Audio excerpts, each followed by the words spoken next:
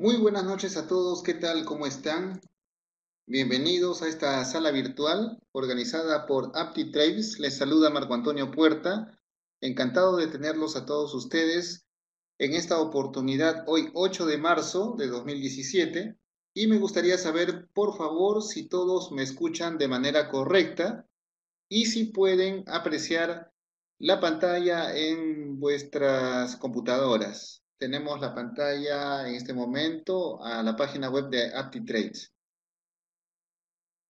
Perfecto, creo que se encuentra todo muy bien. Buenas noches, Osmin, Alexander, ¿qué tal? Encantado de tenerlos en esta oportunidad. Y mientras en estos primeros instantes de la charla virtual aguardamos a que más participantes inscritos para esta sesión vayan ingresando a la sala virtual, pues les quiero comentar que esta charla virtual, les repito, está organizada por AptiTrades, que es un broker internacional de gran prestigio y que a lo largo de varios años viene ofreciendo sus servicios de intermediación para que nosotros podamos invertir en los diferentes mercados financieros. Además de ofrecer sus servicios de intermediación, también ofrece capacitaciones de este tipo, como por ejemplo webinarios, donde nosotros podemos ver en esta oportunidad el tema que vamos a tratar el día de hoy, identificando nuestro perfil de trader o inversionista, pero también otros temas que se van a tratar a lo largo de las siguientes semanas, como nociones básicas para optimizar nuestro expert advisor. Acá tenemos también otros temas por otros expositores, de manera que nosotros podemos registrarnos y participar en estas charlas virtuales de la manera similar como la que vamos a tener el día de hoy. Bien, em, nosotros hemos comentado a lo largo de eh, de los últimos días, que vamos a tratar acerca de eh, la identificación que podamos tener acerca de nuestro perfil como trader o inversionista. De manera que eh, en esta oportunidad, precisamente en estos minutos vamos a hablar de eso, pero también quería recordarles, recalcarles que si ustedes tienen alguna consulta durante el desarrollo de la charla, Pueden plantear sus preguntas a través del chat que se encuentra en la parte inferior derecha, de manera que eh, no solamente se trata de desarrollar un monólogo, sino que también con la participación de todos ustedes podamos ir avanzando con la charla, ir eh, de manera coloquial, ir conversando no solamente con lo que yo pueda aportar, sino con las preguntas que ustedes puedan plantear, ¿verdad? Perfecto. Bien. Entonces, eh, como les estaba comentando, AptiTrades eh, es un broker internacional que viene trabajando ya desde hace varios años y está con las regulaciones respectivas de tal manera que nosotros podemos tener la suficiente confianza para invertir en diferentes instrumentos financieros, financieros a través de este broker.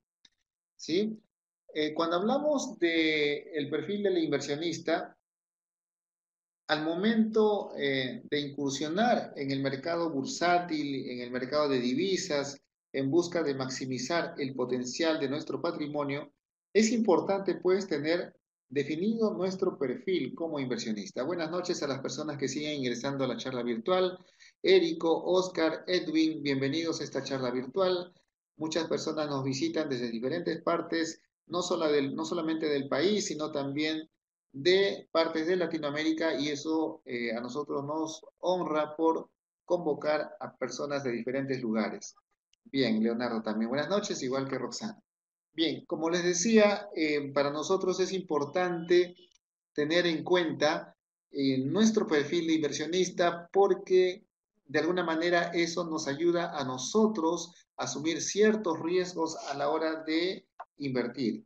Bien, y para eso es importante tener en cuenta que nuestra personalidad, nuestra forma de ser, nuestro carácter influye en la toma de decisiones respecto a nuestras inversiones. Existen diferentes perfiles de inversionistas, cada uno ligado a un carácter y otros factores diversos. Están aquellas personas que poseen una gran aversión al riesgo y que se sienten más cómodos al estar invertidos en instrumentos de poca volatilidad con rendimientos asegurados. Este tipo de inversionista está consciente de que los rendimientos que obtendrá no serán espectaculares, pero mientras su patrimonio no se erosione, no se vea perjudicado, no esté en riesgo y supere a la inflación, pues se sentirá contento con el retorno que obtenga. Por otra parte, están aquellas personas que en las inversiones no temen al riesgo y buscan constantemente ganancias de capital que superen a los principales índices o promedios que se registran en los mercados. Este tipo de inversionista suele tener un perfil más agresivo. Está consciente de que una posible ganancia superior al 20% tendrá necesariamente un riesgo asociado mayor que el que puede obtener una inversión en bonos, digamos, AAA, ¿verdad? Ahora bien, para todos los inversionistas o traders, es importante el tiempo que dure el posicionamiento en un determinado activo. Eso es importante también.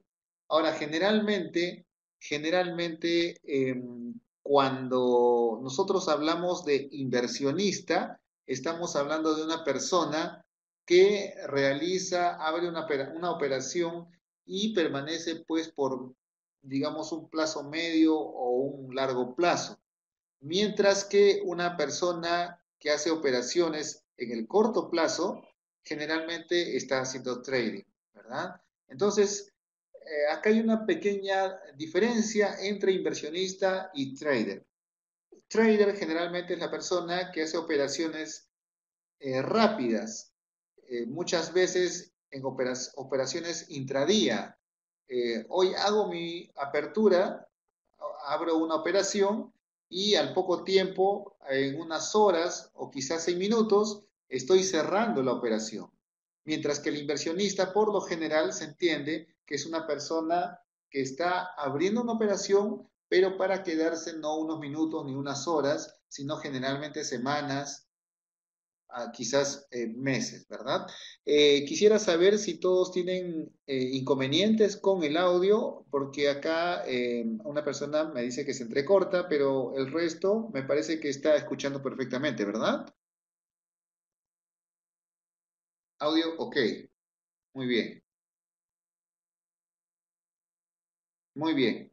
Eh, como les estuve comentando en un comienzo, si hay alguna consulta que tienen ustedes durante el desarrollo de la charla, yo encantado de poder respondérselas, no necesariamente al final, sino mientras vamos desarrollando la exposición, ¿verdad?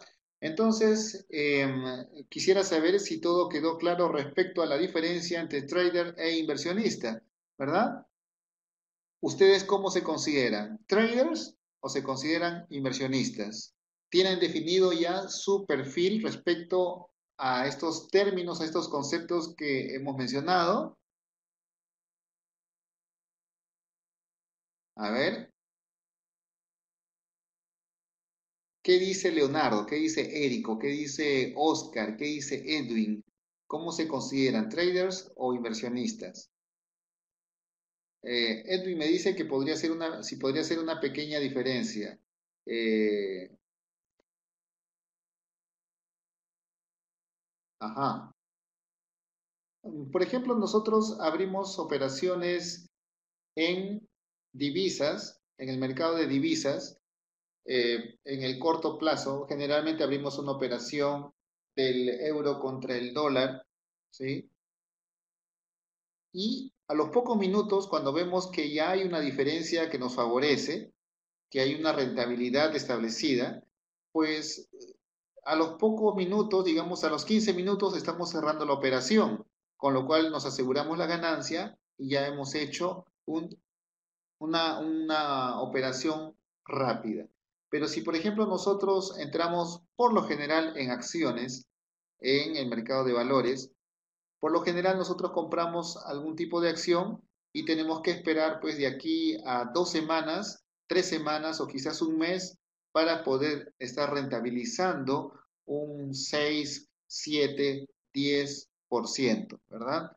Entonces, mientras que el trader hace operaciones en minutos, en horas quizá, el inversionista, y que por lo general es en bolsa, espera semanas o quizás más tiempo para cerrar su operación. ¿verdad? Entonces, eh, tengamos en cuenta eso a la hora eh, de a la hora de, eh, invertir. Bien, dígame por favor, ¿todos pueden ver la pantalla, la diapositiva que estoy mostrando? Por favor, quisiera saber si pueden ver.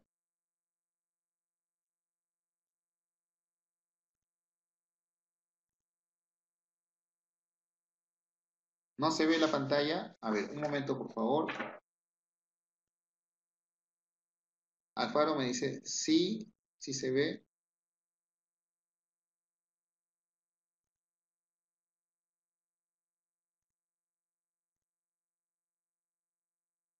Ahora sí. Bien, voy a agrandar la diapositiva y quisiera ver si me pueden confirmar si se ve la diapositiva. Estamos con la diapositiva que dice nuestro carácter influye. ¿Conforme? Sí, perfecto. Ok, muchas gracias. Por favor, no se queden callados. Si hay algo que no está bien, como el audio, como la imagen o algo que yo explico y no se entiende, eh, tienen la total libertad de decirlo y nosotros vamos a tratar de solucionarlo o explicar lo que no quede claro, ¿verdad? Bien, entonces, como les decía, esa sería la diferencia básicamente, ¿no? Em, ahora bien, para todos los inversionistas o traders es importante también el tiempo que dure el posicionamiento en un determinado activo. Eso también es importante. El, perfil define muchas veces también nuestra cartera de inversión, ¿verdad? Eh, es probable que la ponderación en un portafolio de muy corto plazo de un inversionista agresivo y conservador no sean tan diferentes como se pudiera pensar. Es decir, que muchas veces eh, muchas veces em, yo puedo tener en mi cartera de inversiones los mismos instrumentos financieros que tiene eh, otra persona con otro perfil. Digamos que yo soy una persona eh, de perfil agresivo. Cuando digo de perfil agresivo no me refiero a que le voy a pegar a los demás inversionistas cuando invierto. Agresivo significa que yo soy, digamos, más pegado al riesgo, ¿no? Me gusta arriesgar más. Y moderado es el que trata de conservar, tener mayor seguridad y aminorar los riesgos en lo posible cuando realiza sus inversiones. Sin embargo, muchas veces pensamos que tanto, eh, digamos, el agresivo como el moderado tienen diferentes instrumentos en, sus carteras respectivas. Y muchas veces no es así. Muchas veces, tanto el agresivo como el moderado pueden tener los mismos instrumentos financieros. Entonces, ¿dónde está la diferencia si uno es más arriesgado y otro no? En el factor tiempo. Mientras que el arriesgado, eh, digamos, puede haber entrado con operaciones eh, sobre instrumentos de mucha volatilidad y es capaz de esperar mucho más tiempo, el moderado, eh, digamos, con los mismos instrumentos volátiles de alta volatilidad, pues no, permanecerá, no permanecerá mucho tiempo porque sabe que los precios se mueven de una manera mm, que podría poner en riesgo eh, su capital. Por lo tanto, estas papas queman, por lo tanto, yo las tomo y las suelto rápido, ¿verdad? Entonces hay que tener en cuenta eso. Los instrumentos financieros que conforman una cartera agresiva pueden ser los mismos que conforman una cartera de un inversionista moderado. Entonces, ¿dónde está la diferencia? En el tiempo, en el periodo que yo conservo esos instrumentos financieros en mi cartera. Eh, la eficiente conformación de una cartera no puede recaer solamente en el perfilamiento del cliente. Es necesario entender que el horizonte de inversión tendrá una importancia relevante en dicha decisión. Una vez teniendo en cuenta esta distribución, uno podrá ejecutarla a través de compra de fondos de inversión, ETFs, acciones, en, divisas, en materias primas y gestionarlos de manera periódica. Bueno, y después de haber digamos, eh, hecho una, una previa presentación de lo que es el perfil del inversionista, finalmente, ¿qué es el perfil? ¿Qué es el perfil del inversionista? ¿Cómo lo podemos entender? El perfil del inversionista se refiere a las características de una persona que guían la manera en que debiera tomar sus decisiones de inversión, incluido su nivel de tolerancia al riesgo, en relación a los diversos instrumentos de inversión que existen en el mercado. En la medida que conozca qué tipo de inversionistas somos, nosotros podemos elegir de mejor forma entre las alternativas de inversión a las que podemos optar o crear una mezcla de inversiones que se adapten a nuestro perfil. Saber cuáles son las necesidades y cuáles son los objetivos de inversión actuales, además de cuál es el horizonte de inversión, la disponibilidad con la que necesitará el dinero, el, el nivel de riesgo con el que se siente más cómodo, ayuda a definir el perfil del inversionista. Entonces, tengamos en cuenta esto. Eh, a ver, ustedes, ¿cómo se consideran? Eh, personas que conservan los activos financieros en los cuales han abierto una operación, las conservan por mucho tiempo por o por corto tiempo. Las conservan solamente minutos, horas o la conservan, digamos, semanas. ¿Qué dicen ustedes? A ver. A ver, ¿qué dice Osmin? ¿Qué dice Edwin, Oscar, Alexander? Bueno, Alexander es nuestro amigo del aula virtual. Ricardo, ¿qué dicen? Osmin me dice por minutos, a lo sumo horas. Por lo tanto, si Osmin me dice que conserva solamente sus instrumentos financieros por minutos o a lo máximo horas, ¿estaría considerado como un trader o como un inversionista?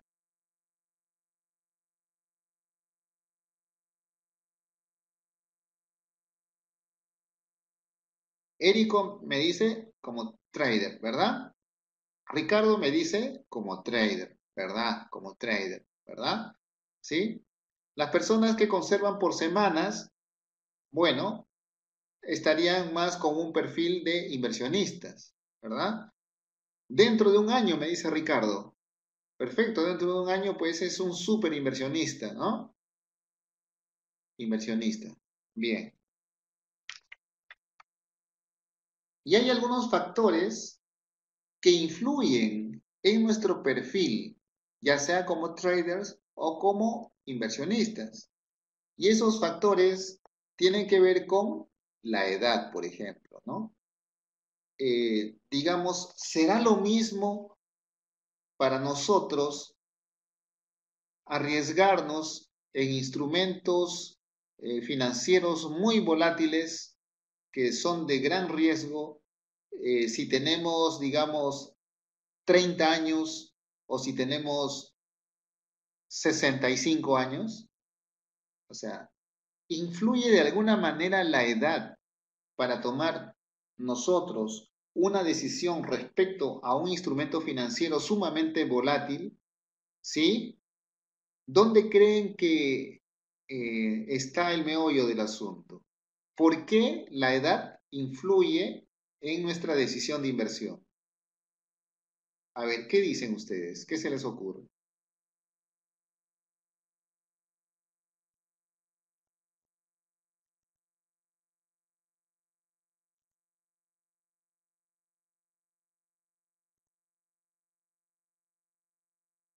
Ricardo me dice es distinto. Por supuesto que sí influye. Bien, pero ¿cómo? Osmin me dice en la expectativa de vida. Muy bien. Hay algo más para complementar eso. Érico me dice, más que nada por el temperamento de la edad. Muy bien. Quizás cuando uno es joven, digamos que es eh, más fuerte emocionalmente, eh, quizás con más carácter, quizás eh, con ganas de arriesgar, con más confianza, mientras que una persona de edad avanzada pues si bien es cierto puede tener esas características, eh, ya no son tan sólidas como cuando era joven, ¿verdad? Claro, de alguna manera eso. Pero hay algo más. A ver, ¿qué me dicen por acá? eh, su grado de aversión al riesgo, bien, Oscar me dice, una persona de 60 años a largo plazo no podría ver sus resultados. Muy bien, Oscar, perfecto. Osmin también me dice, otra podría ser la aversión al riesgo. Claro, lo que sucede es que si tenemos 65 años y nos arriesgamos en instrumentos financieros de alta volatilidad, lo que sucede es que podríamos perder parte o la totalidad del capital. ¿Y cómo recuperamos ese capital si ya tenemos una edad que nos encaja dentro de la tercera edad?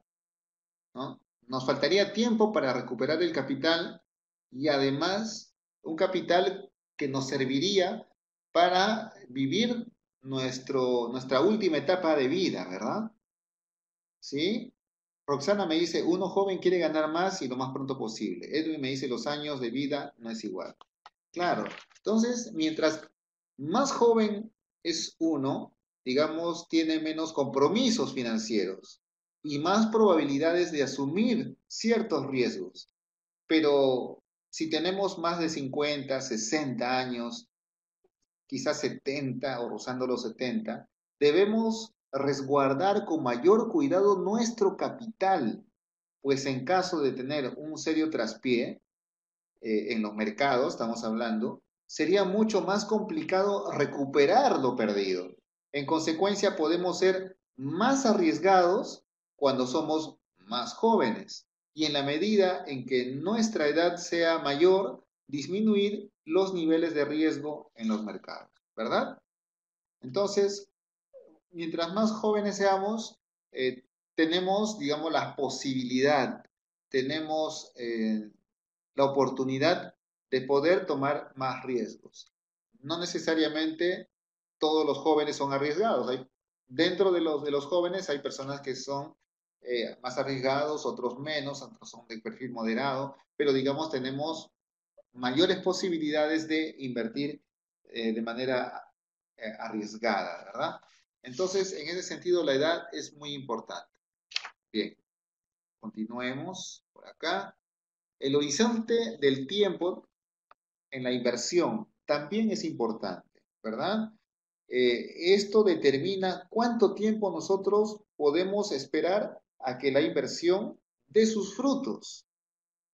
No, es lo mismo eh, eh, esperar pues una semana que esperar un año.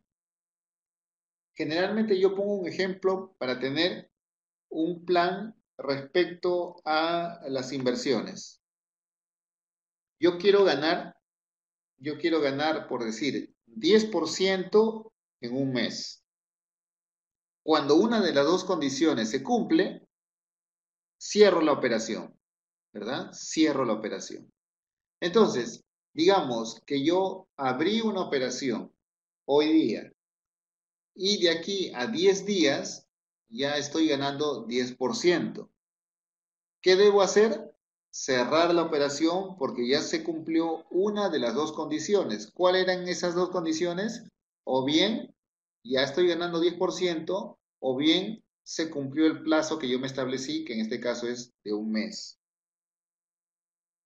La otra, la otra situación sería, pasó un mes y yo solamente estoy ganando 2%. En ese caso, ¿qué debo hacer? También cerrar la operación. ¿Por qué? Porque si bien es cierto, no he llegado a mi meta de 10%, tan solo 2, se está cumpliendo la otra condición que era que yo espere un mes. Y si yo esperaba un mes y no estaba ganando el 10% que esperaba, pues igual cierro la operación porque ya se cumplió una de las dos condiciones que yo me puse antes de invertir. Por lo tanto, el horizonte del tiempo de inversión es muy importante también a la hora de tomar una decisión al entrar en cualquiera de los mercados financieros. ¿Sí? Eh, si el audio se entrecorta, para la mayoría parece que no hay problemas, lo recomendable es entrar en otro navegador, es decir, si están en Google Chrome, pues tratar de hacerlo en Mozilla eh, que es el navegador a través del cual se puede escuchar o tener una mejor señal en audio e imagen para entrar en la sala virtual. Pueden salir de la sala y nuevamente ingresar a través de Mozilla para tener eh, mejores resultados a la hora de recibir la señal de la charla virtual. ¿Verdad? Bien. Eh, los ingresos también son importantes eh, tanto los que percibes hoy como los que esperas obtener. Entonces, es importante también tener en cuenta los ingresos que uno pueda tener a la hora de tomar una inversión. Las obligaciones financieras contraídas, mientras más obligaciones tengas con otras personas, entonces tendrás menor capacidad de ahorro. Si estás endeudado, si debes plata al banco, si debes plata al amigo, si debes plata a otra persona, en fin, eso de alguna manera también limita tu eh, expectativa de inversión. Por lo tanto, si tienes deuda, primero págalas y luego invierte ¿sí? en los mercados financieros. Ahora, si tus deudas son manejables o falta poco tiempo para que las canceles, pues eh, podrías estar ya incursionando en los mercados siempre y cuando esas obligaciones financieras no te ahorguen en tu canasta familiar, en tus obligaciones financieras eh, cotidianas, digamos, ¿no? Entonces, las obligaciones, las deudas que puedas tener, eh, si son manejables, si no son grandes y, si en el corto plazo están por vencerse, pues podrías estar entrando en los mercados. Pero si tus deudas son grandes, por favor, eh, tienes que poner los pies sobre la tierra y esperar a que esas deudas vayan aminorándose y que con el tiempo pues quede poco periodo para que sean canceladas y de esa manera puedas ingresar en los mercados, eh, digamos, sin inconvenientes. El patrimonio también es importante porque representa el respaldo económico con el que eh, puedas contar. De manera que a tomar en cuenta también esto porque el patrimonio es un factor importante que influye de alguna manera también en nuestro perfil como inversionista. Y acá entramos a, nuestra capacidad de ahorro, ¿no? Que a nosotros nos permitirá aprovechar las oportunidades de hacer frente a los imprevistos. Es decir, no es lo mismo que todo nuestro capital ahorrado lo invirtamos y nos quedemos pues en cero se supone que nosotros tenemos alguna otra actividad, de repente somos empleados de alguna empresa o tenemos algún negocio y eh, el, todo el dinero que podamos haber invertido en la bolsa no significa, o en los mercados financieros o en el mercado de divisas, en fin, o en materias primas, en fin, en cualquier mercado o instrumento financiero, no significa que eh, nos quedemos en cero, que puede ser el caso también. Pero hay que considerar que si tenemos una actividad principal, una actividad que nos genera dinero, ya sea como trabajadores, como empleados, como funcionarios o con un negocio propio, eso va a generar que tengamos un ahorro, que haya un dinero que fluya de esa actividad que estemos realizando hacia una cuenta bancaria, digamos, donde tenemos un respaldo, un ahorro que va creciendo paulatinamente. Entonces, eso también influye en nuestra manera de invertir, ¿verdad? Porque si hay algún imprevisto y nosotros necesitamos liquidez para cubrir ese imprevisto, vamos a tener muchas veces que quemar o, vender a la fuerza, obligados. Tenemos que cerrar las operaciones que tengamos abiertas para poder cumplir con esas obligaciones que la vida diaria o las circunstancias de la vida nos obligan a cubrir. Entonces, pero si nosotros tenemos un ahorro, ¿sí? Al margen del capital invertido en los mercados, y nosotros tenemos la capacidad de ir ahorrando y tener liquidez para los imprevistos, eso nos da mayor tranquilidad para permanecer con mayor tiempo en los mercados y estar en una posición abierta frente a un instrumento financiero determinado. Eh, por acá me dice Érico, profesor, ¿yo puedo ganar el 100% siendo trader? Claro que sí, sí se puede, sí se puede. Eh, eh, pero para ello tienes que capacitarte, tienes que leer bastante tienes que eh, practicar en una cuenta demo de los diversos brokers que hay en los mercados y en este caso yo les recomiendo AptiTrade, que es un broker que viene funcionando desde hace ya varios años. Es un broker reconocido a través del cual puedes abrir una cuenta ficticia que te permite invertir con dinero ficticio, pero sobre precios reales. En esa cuenta eh, demo de práctica, lo que puedes hacer es ir ensayando, ir practicando, ir verificando si tu estrategia de inversión está funcionando o simplemente no.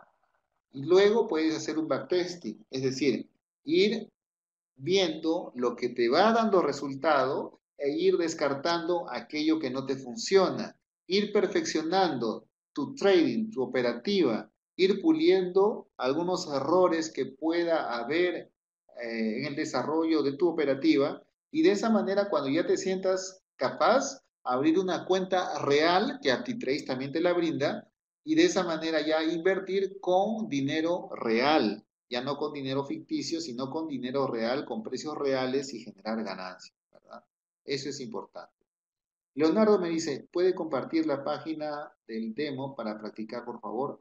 Ay, ahorita no la tengo, no la tengo a la mano. Pero mira, a ver, ustedes pueden entrar en la página de AptiTrades. Acá está, es de la página principal, les paso el link.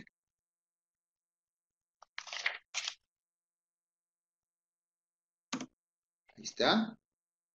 Y fíjense acá, dice, abra una cuenta. Se refiere a una cuenta real, donde ustedes tienen que hacer un depósito de dinero para invertir con dinero real. Pero acá en este recuadro, en este rectángulo de fondo naranja, ustedes ven que dice demo gratuita. Ahí le pueden dar clic y simplemente les van a pedir sus datos principales como nombre, correo electrónico, de qué país, en fin. Y van a poder generar una cuenta ficticia, una cuenta demo, una cuenta de práctica, donde ustedes van a poder eh, familiarizarse con los diferentes instrumentos financieros y poder operar. Eh, para, unas, para una próxima charla, para un próximo webinar, vamos a tener listos en todo caso una cuenta demo para poder eh, mostrarles cómo funciona y eh, los diferentes instrumentos financieros en los cuales se puede invertir, que son básicamente lo que ven en vuestras pantallas, acciones, materias primas, índices y forex, que es divisas, ¿verdad? Entonces, eh, recuerden, AptiTrade viene funcionando como broker online internacional desde el año 2001 y está regulado por las instituciones correspondientes para que ustedes puedan trabajar con la suficiente confianza a través de la plataforma que ofrece AptiTrade. Bien. Ah, Jonathan me pregunta por acá, ¿cuánto de dinero como mínimo se requiere para hacer una cuenta real? Eh, miren, la cifra exacta no la tengo, pero me parece que es 100 dólares. Si me puede ayudar Alexander, eh, me parece que es 100 dólares. En todo caso, ustedes tienen acá em, un correo electrónico a través del cual pueden enviar 100 dólares. Ahí está Alexander que nos ayuda en esta sala virtual. Nos está informando que con 100 dólares ustedes pueden abrir una cuenta real para hacer sus operaciones en el mercado eh, de divisas, en el mercado de materias primas, en fin. Y acá tienen un correo electrónico que pertenece a AptiTrades, donde ustedes pueden hacer sus consultas em, acerca de este punto o sobre cualquier eh, tema relacionado a las inversiones, ya sean en la cuenta demo o en la cuenta real, ¿verdad? Bien. Volviendo a la diapositiva, vamos a retomar acá. Bien, acá hay algo muy importante para nosotros y para nuestro perfil de inversionista. Y es lo siguiente, la tolerancia al riesgo.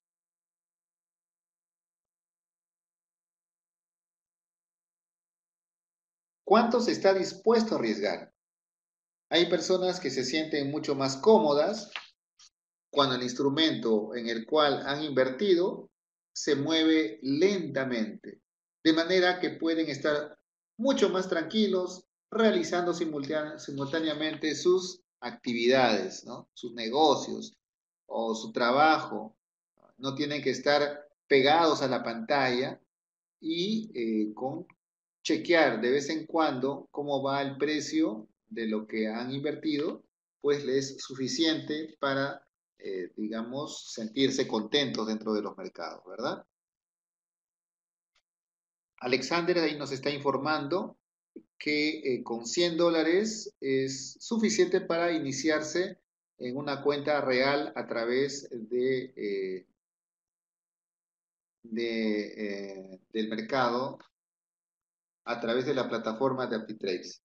Bien, entonces, em, sin embargo, hay personas a quienes les gusta la alta volatilidad y de esta manera quieren hacer qué? Quieren hacer trading y muchas veces trading intradía. Si una persona conservadora hiciera trading, lo más probable es que no la pase bien ante los precios que suben y bajan frente a la pantalla de su laptop.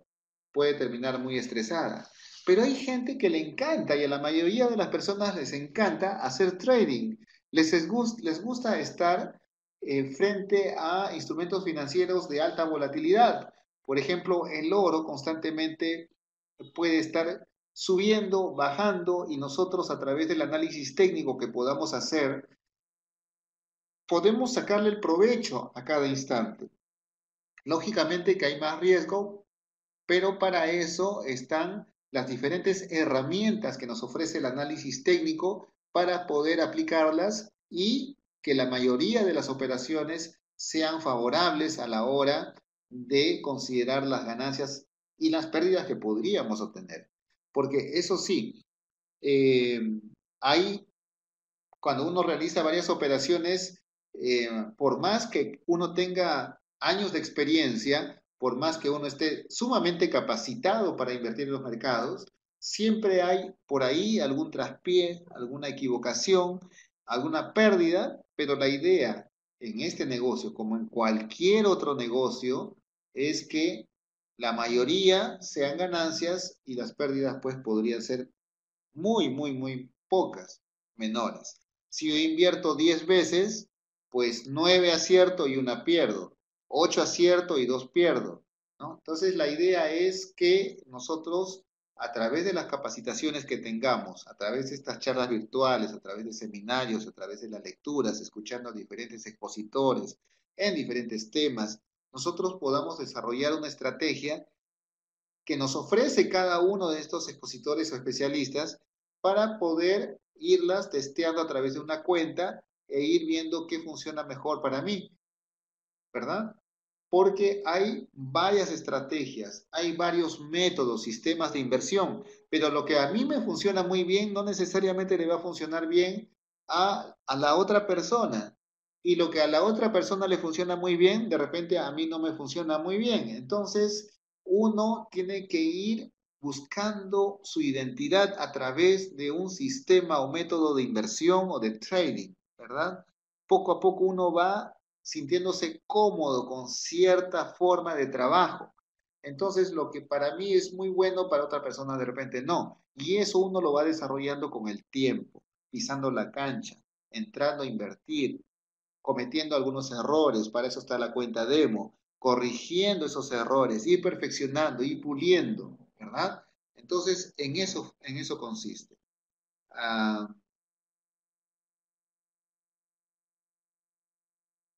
Bien, a ver, eh, sobre la tolerancia del riesgo, entonces, eh, como les digo, si hay una persona que es conservadora, eh, lógicamente que el trading no le va, no le va a caer bien, ¿verdad? Si es una persona de más riesgo, en ese sentido, sí se va a sentir mucho más cómodo. Bien, a ver, Continuamos con la siguiente diapositiva. Y acá vemos que los conocimientos financieros, como les dije, influyen en, nuestra operativa, ¿verdad? nuestra, nuestros conocimientos financieros se van formando, se van acumulando a través de capacitaciones que nosotros podamos recibir vía charlas virtuales, eh, vía seminarios, vía lecturas, vía videos que se publiquen y que podemos encontrar muchas veces en Internet. ¿verdad? Entonces, en ese sentido, eh, nosotros podemos ir incrementando nuestros conocimientos y en la medida que conozcamos más, podemos ser más arriesgados. No necesariamente que tiene mayor conocimiento es más arriesgado, más agresivo en las inversiones, pero si tenemos mayores conocimientos, podemos pisar el terreno del mayor riesgo, ¿verdad? Entonces, eso también debemos tenerlo en cuenta. Respecto al objetivo de la inversión, eh, esto de alguna manera define en qué se utilizarán los recursos invertidos. Por ejemplo, para comprar una casa o solo si se trata de inversión de excedentes, sería recomendable tener presente la meta que quiere alcanzar y el tiempo que tienes que lograrlo. Si quieres, por ejemplo, eh, a ver, digamos, no es lo mismo invertir para asegurar la educación universitaria, digamos, de tu hijo que recién nació, que para comprar un auto nuevo, ¿no? No es lo mismo. En el primer caso, en el caso de la educación universitaria de tu hijo, eh, debemos pensar en inversiones a largo plazo. Si nuestro hijo recién nace, pues cuando llegue a la universidad va a pasar mucho tiempo. Entonces las inversiones pueden ser a largo plazo para que nos aseguren contar con la cantidad de eh, dinero que se necesita llegado el momento. En el segundo caso, en el segundo caso, eh, si se trata de comprar un auto nuevo, eh, en ese caso se puede pensar en instrumentos de corto o de mediano plazo. Entonces también depende el objetivo de nuestra inversión. ¿Para qué queremos el dinero? Si es simplemente para ahorrar, para tener eh, algo ante ciertas circunstancias que pueden ocurrir, pues podemos tentar eh, nuestras inversiones en función al mediano plazo, ¿verdad? Entonces eso debemos también tener en cuenta, ¿verdad? Por otro lado, eh, la rentabilidad deseada también se inscribe dentro de lo que eh, sería un factor más en nuestro perfil como inversionista, ¿verdad? Porque el rendimiento que uno espera obtener en el futuro de la inversión también de alguna manera eh, está determinado por nuestro perfil de inversionista. Es decir, si yo, por ejemplo, veo que el, banco, ¿cuánto me paga a mí al año? ¿Ustedes saben cuánto paga el banco al año, más o menos? A ver, ¿el banco paga 20% al año? ¿Sí o no?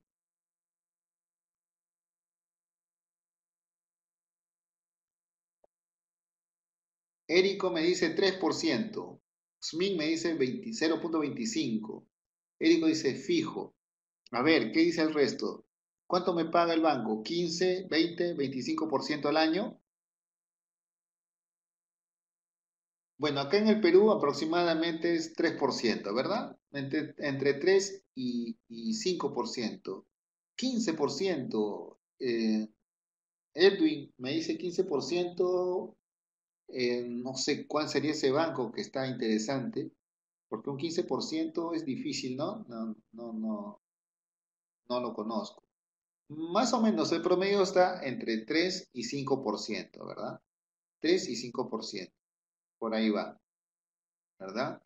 Entonces, si yo soy una persona sumamente, eh, digamos, con perfil moderado para las inversiones, pues que a mí me pague 3% el banco, digamos, no me provoca la euforia, pero me siento conforme y estoy ahí, ¿verdad? Pero si yo incursiono en los mercados financieros, es para ganar más que 3% al año, ¿verdad? Es para ganar más de 3% al año. Por lo tanto, yo me podría conformar, digamos, digamos, por ejemplo, con un 1 o 2% al mes, digamos. lo cual al año haría entre un, 15 a 24% al año, ¿verdad?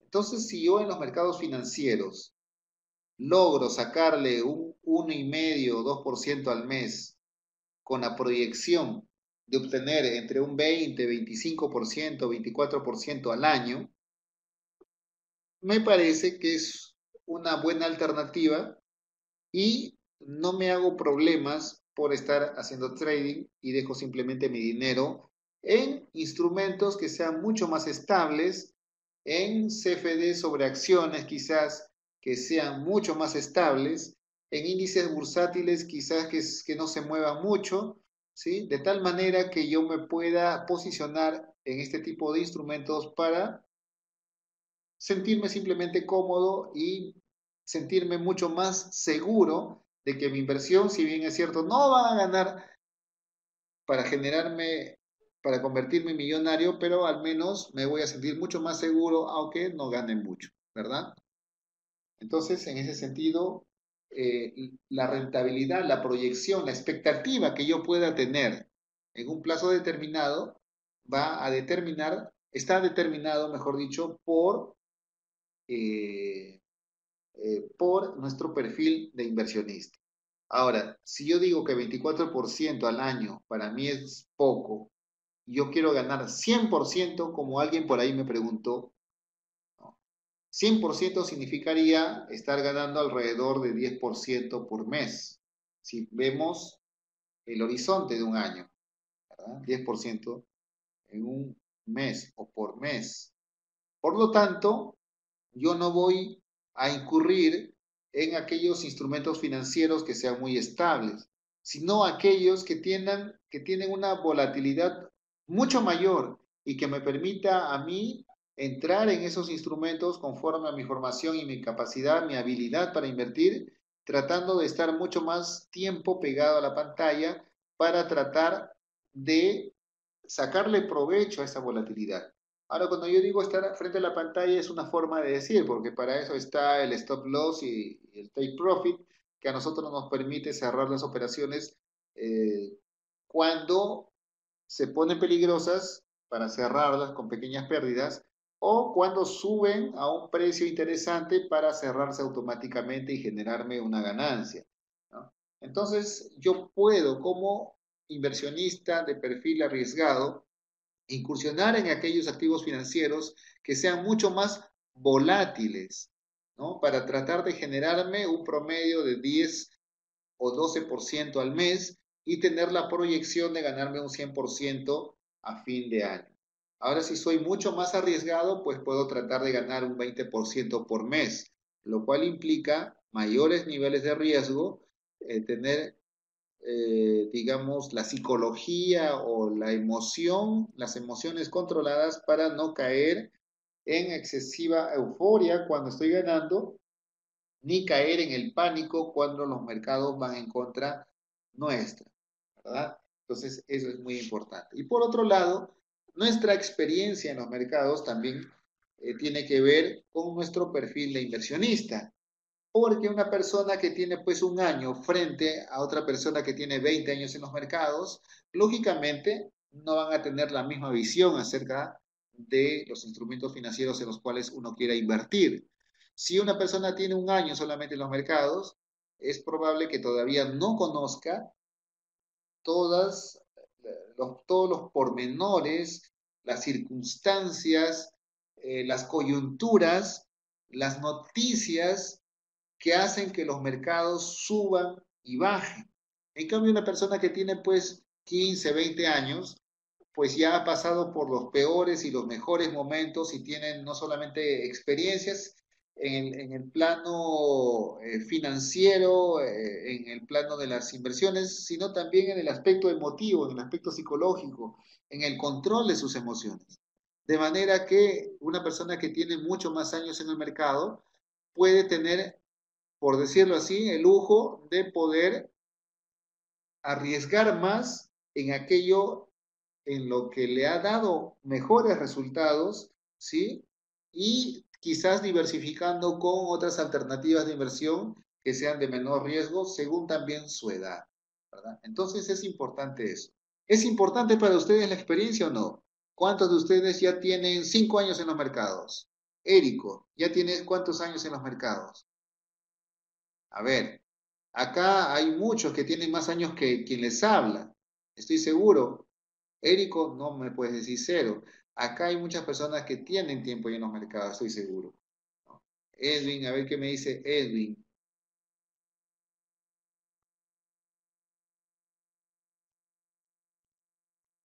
Bien, entonces es importante que conozcamos el instrumento en el cual vamos a invertir. Eso nos permite medir mejor los riesgos que nosotros vayamos a tomar. Para eso es destacable los años de experiencia que tengamos en los mercados y eso nos permitirá a nosotros tener mayor confianza para invertir. Osmin me dice, Osmin me dice que tiene cinco años, Ricardo eh, un año y tres meses, muy bien, poco a poco. ¿Y qué tal? ¿Y cómo les está yendo en los mercados? ¿En qué tipo de mercados están invirtiendo?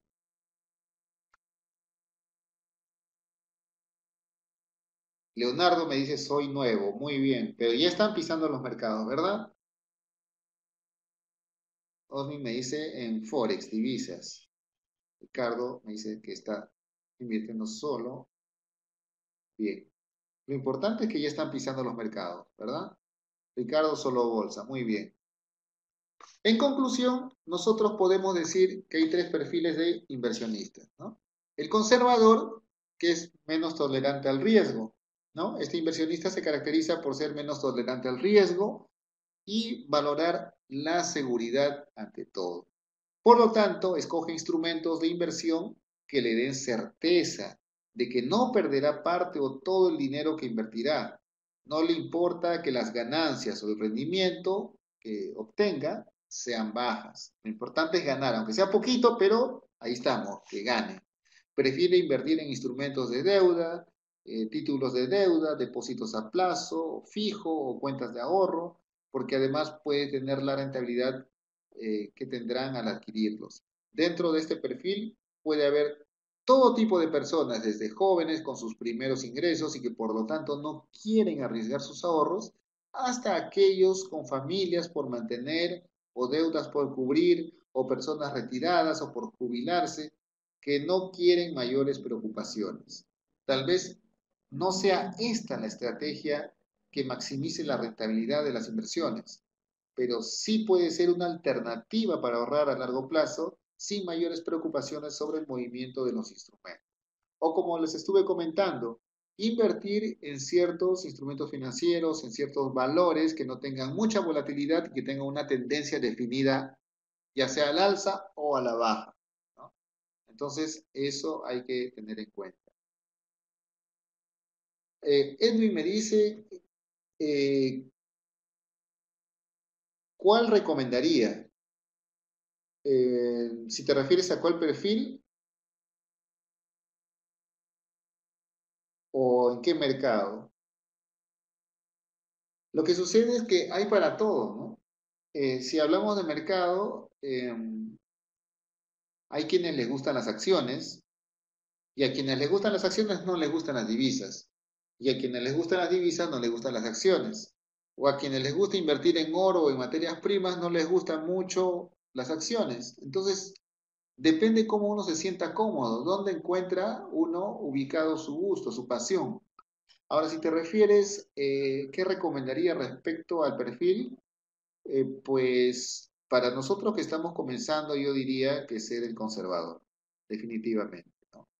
Ir arriesgando poco a poco, como tentando el terreno con el pie derecho, ¿sí? Para ver si esto explota o no explota, si esto está eh, seguro de pisar, y conforme vaya pasando el tiempo y conforme nosotros vayamos ganando cancha, ir avanzando en nuestros niveles de riesgo. Pero para nosotros que estamos empezando, yo sugeriría eh, tener un perfil conservador.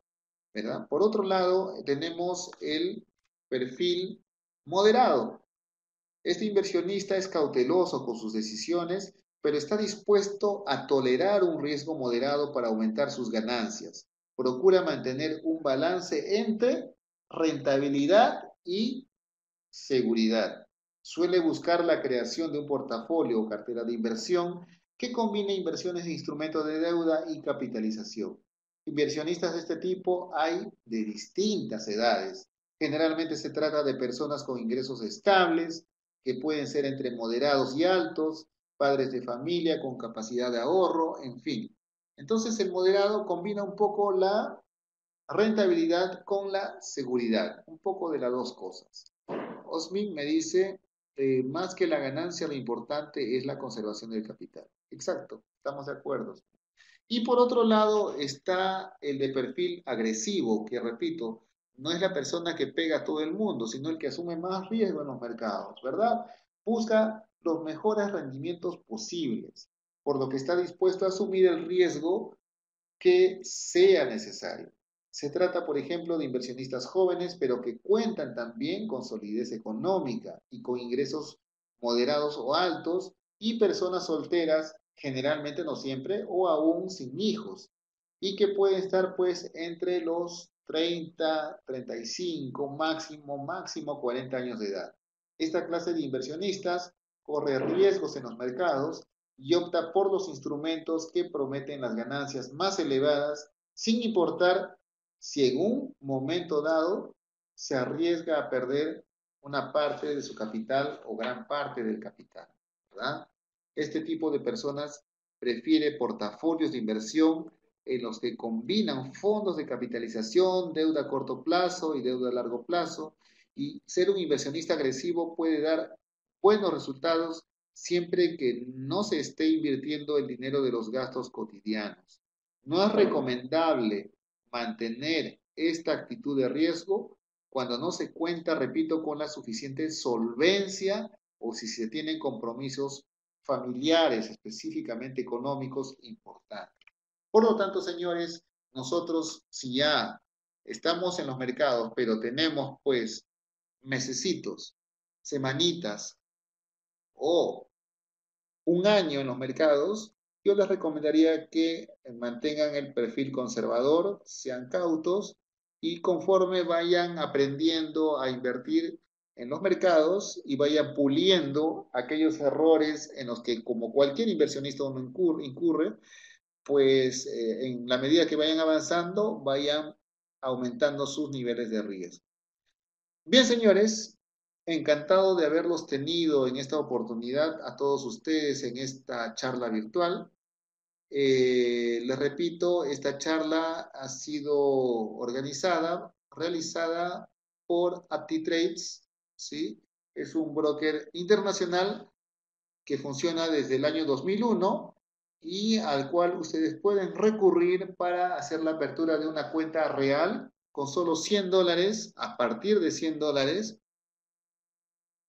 O si no, eh, si quieren aún practicar en la cuenta demo, pueden abrir una cuenta demo y practicar ahí sus estrategias de inversión ir puliendo, ir mejorando y cuando tengan la suficiente confianza para entrar en los mercados, abrir una cuenta real.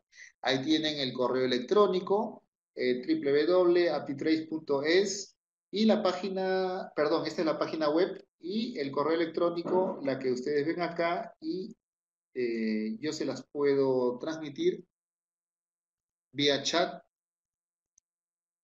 Acá tienen la página web